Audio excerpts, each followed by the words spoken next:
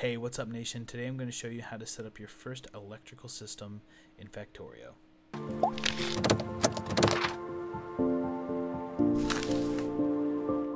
I already crafted a few things, so you're going to have to mine um, as you would normally, but what you're going to need is a... I'll show you really quick.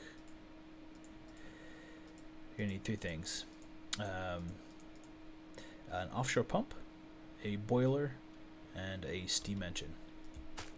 So you're going to take your offshore pump and uh, put it near some water. So you can see it's turning green and red. You want to put it obviously where it's green. Take your boiler, um, set it right here. You see it needs a power source, so I have some coal I'm just going to put in there. Um, you can see the temperature rose to 100, which is a good sign.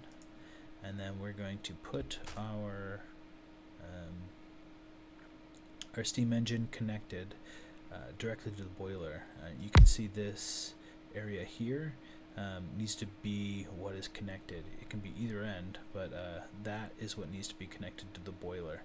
Um, you can get around this. Uh, um, you can attach from the boiler to the plate, or, or sorry, you can attach from the boiler to the steam engine with some uh, pipe.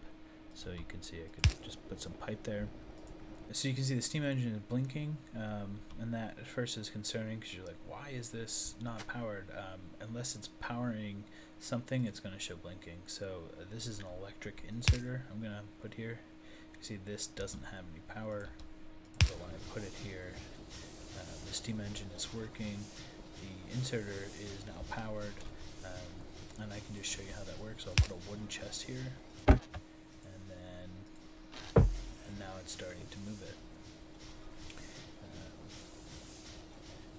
you know, something that might make sense for this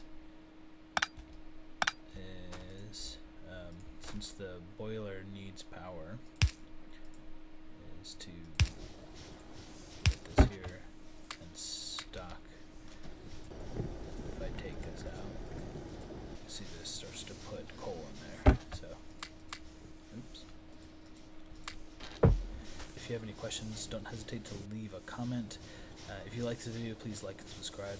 And as always, game on.